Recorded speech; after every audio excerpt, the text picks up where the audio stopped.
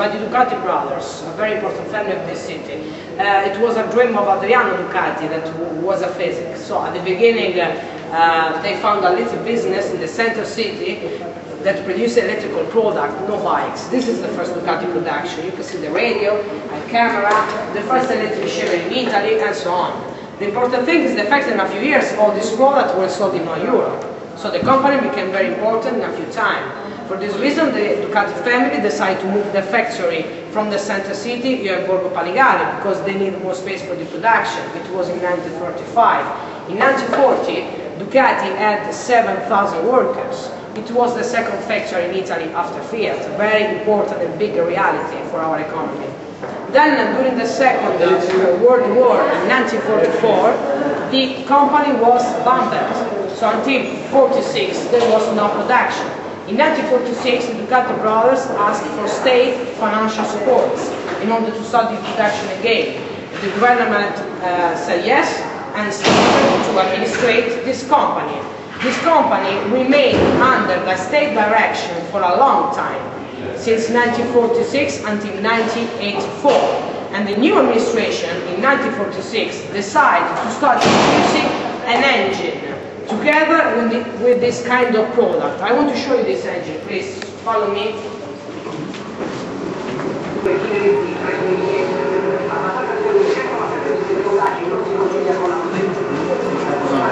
Here you can see the first mechanic uh, uh, product in Ducati. In 1946, the new administration decided starting to produce this kit. They just produced 10 the engine, the tough Italian people connect on their disciples. Behind you there is a very nice example. This case had a great success. In spite of the war, in spite of the bad situation in Italy, uh, Ducati sold 100,000 of these engines, only in Italy. Because this engine could cover 90 kilometers with one liter of petrol. So you can imagine it was a dream to Italian people. And with this engine, in 1952, uh, they assembled the first bike, Ducati, that you can see here. This is the first bike of our story. Okay, uh, this company was administered by the government in 1984. In 1952 they assembled the first bike.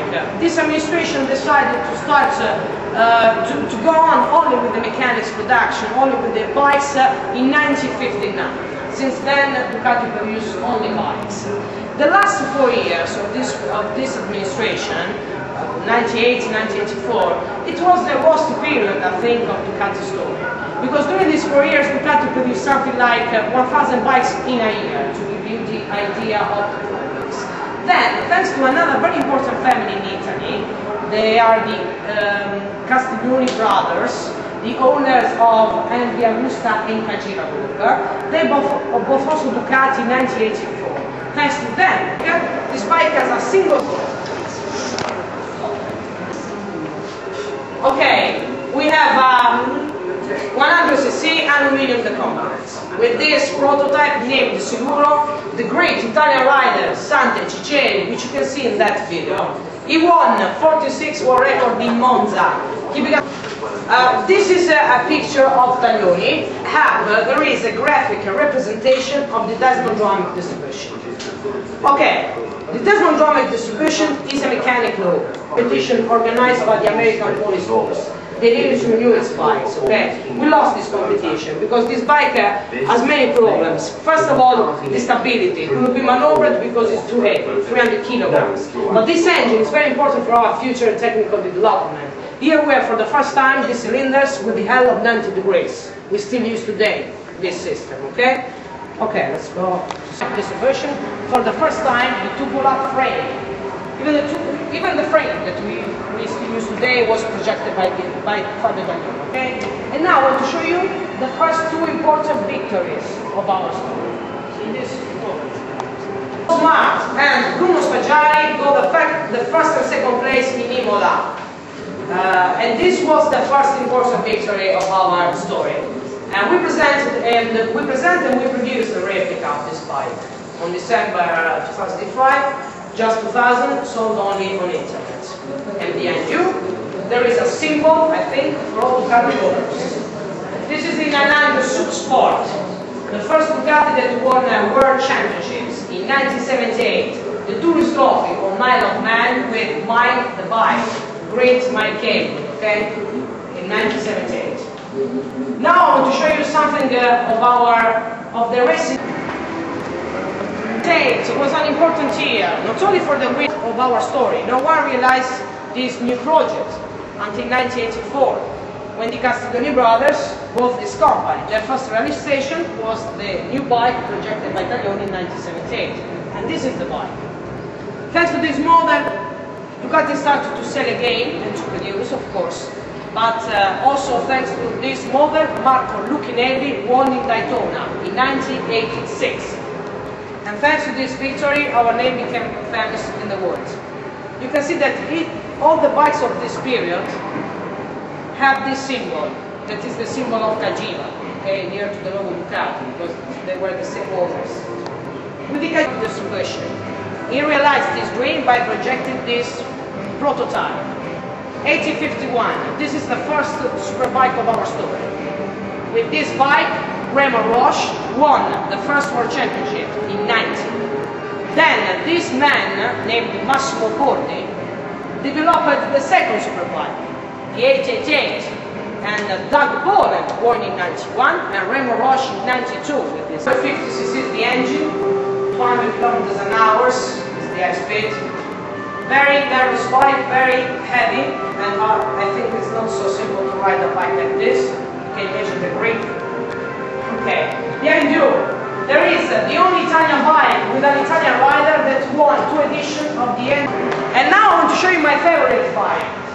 This is 1960. We have to say more. Okay, this bike was designed by Massimo Tamburini. The engine was developed by Massimo Bordi again. Eight World Championship, eight Constructors prizes, four with one of the greatest Carl Fogarty, and this one. Okay, here you can see the last victories of Superbike. 98 we won with the last in 1960 with Fogarty, and Fogarty again. 99 with the 996, great Troy Bayliss. 2000, 2001, 2002. We started in 2003 with the new Superbike, the 999. Neil Hodgson won in 2003. We are Okay, this is the original bike that Capirossi had in Catalonia, Barcelona circuit, when uh, in 2003, for the first time, Ducati won a race, MotoGP. It was the first year that we participated in this uh, uh, GP, and uh, everybody of the team explained to us that we don't have any possibility. They said we had a computer experimental bike, and uh, so we were shocked with these results. For this reason, we have this bike and not the other, simply because we were more shocked in 2003 of the results of Capirossi. Three, we won three races. It was incredible for us to do this.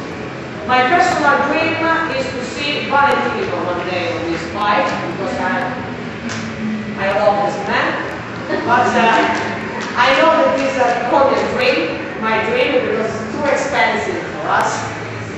So okay, Capirossi is great and uh, it's cheap.